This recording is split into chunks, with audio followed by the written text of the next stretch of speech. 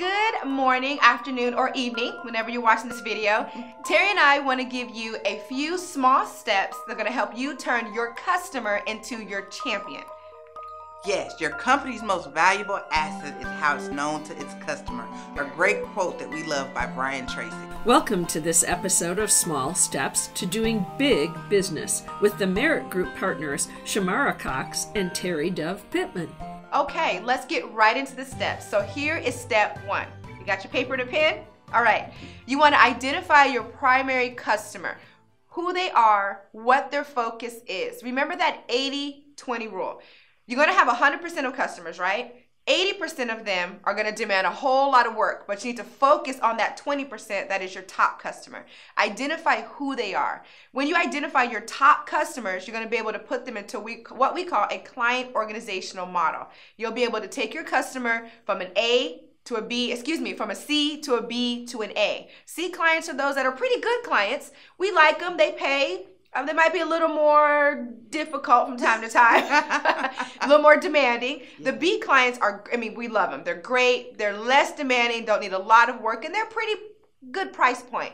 But our A clients, number one, number ones, great price point, easy. They love the work. They're champions. They refer clients. They stick with you, and they like to upgrade on their services. So that's number one. Identify who your primary customers are.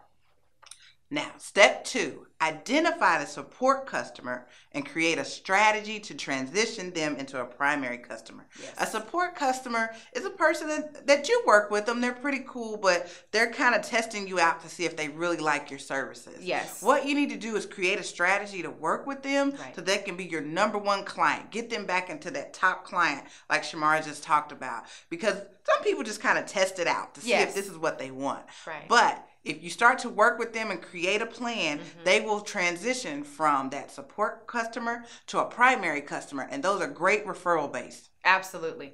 All right, so step three, you want to learn what your customers are not saying. Yes. Silence really does speak volumes. So that's why we survey our customers. We want to know what are you not telling us? It's hard for them to sometimes express what they're really feeling on the inside. Maybe they don't like the fact that you have to go 10 days before they see you again. Or maybe they don't like the fact that they get three conference calls a month and they'd rather see you face to face. Or maybe they don't like the fact that you have them come into your office and they'd rather get a phone call. Or maybe they don't want a confirmation call. Maybe they don't want that particular type of service, but you don't offer what they really want, but they really have fallen in love with you.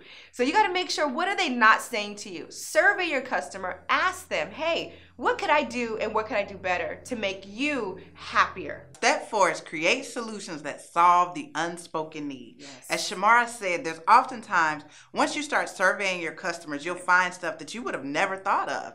So, what you do is create a solution or marry a current solution yes. to meet that need, to make sure that every time they come to you, all their business needs are being met. Yeah, very true. Um, that's so important, especially when you have a high volume of consumers and customers. You want to make sure that you're trying to meet their need, each and every one of them. If you're in retail and you're selling like products and cups and mugs and pins, it's kind of hard to build that relationship, but you can use technology to really do that. Survey Monkey's excellent, Constant Contact's excellent. You can also send emails out to get response, keep on auto response system. There's ways to keep your customer abreast of what's going on. And really, Step number five, give them a voice. Your customer wants to be heard. It's not just all about us, it's not just all about you. It's about your customer because without them, we wouldn't be here That's and right. you wouldn't be here, right? right. and step six, I love this. Become partners in their success That's right. and characters in their story. Just don't think of them as profit. Just don't think of them as income. You are providing a service that they needed to create a journey for them. So make sure that you're looking at their success just like it's your success. That's and you'll be more personally invested. And once customers know that, they trust you. Trust is a huge, huge factor in retaining clients. If they trust that you can do whatever they need in your service area, they will be more likely to refer. They'll be more likely to continue with your services or mm-hmm. sometimes even ask you stuff that you don't even know how to do just because they trust you. Right. So be partners in their success. Be a vital character in their journey in life. Awesome. All right, well, those are six small steps to helping you turn your customer into a champion. We can't wait to motivate you again. See you soon. See you soon. Thank you for watching Small Steps to Doing Big Business. For more great information, visit themeritgroupindy.com. Also, browse the other shows found right here at Indy Biz TV Shows.